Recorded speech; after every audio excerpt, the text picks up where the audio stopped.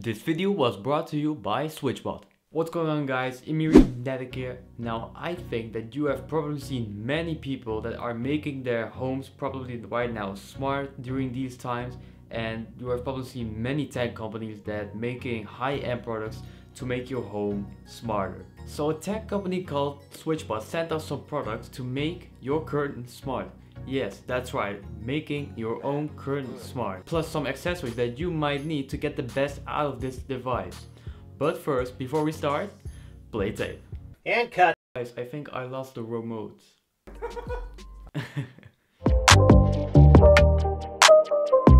So first of all, let's start with the things that we have right now. We have the SwitchBot curtain device itself. This is gonna do the biggest job of all. This is gonna allow us to control our curtain. Plus we also have some accessories that came in. We have the solar panels. This is, gonna allow us to, to charge the curtain by itself so we don't have to take off every time and plug it in with a USB-C by USB-A cable. We also have the SwitchBot remote that is gonna allow us to control the curtains with the remote instead of if you don't have your phone nearby you, you can use the remote to control the curtains.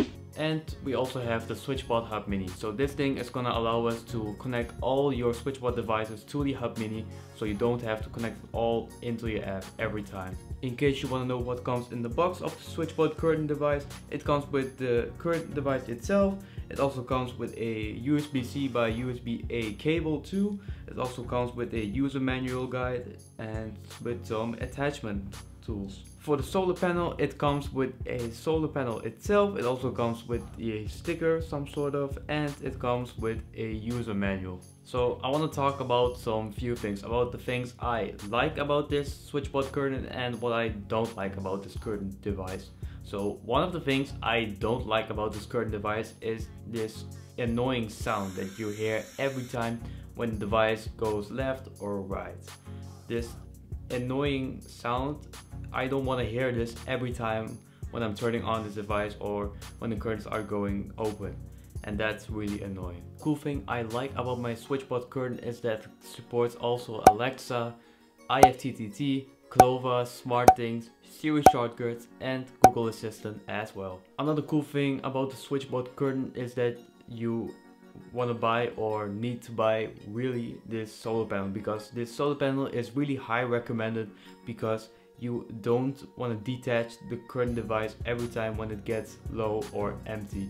So I highly su suggest you will buy the solar panel because you don't want to use this cable every time. We also have three types of SwitchBot curtains. We have the I-rail, a rod and a U-rail in case what type of rail you need for your curtain as well.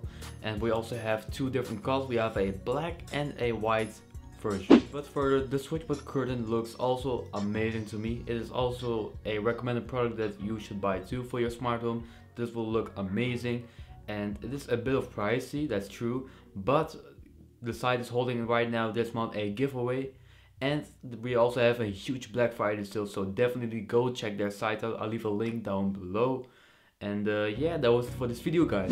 I hope you enjoyed this video. Also, let me know in the comments what you think of the SwitchBot curtain and also the other accessories too. And yeah, don't forget to subscribe to my channel, like this video, turn on post notifications and share with your friends. And I will see you in the next video. Bye bye. That's good.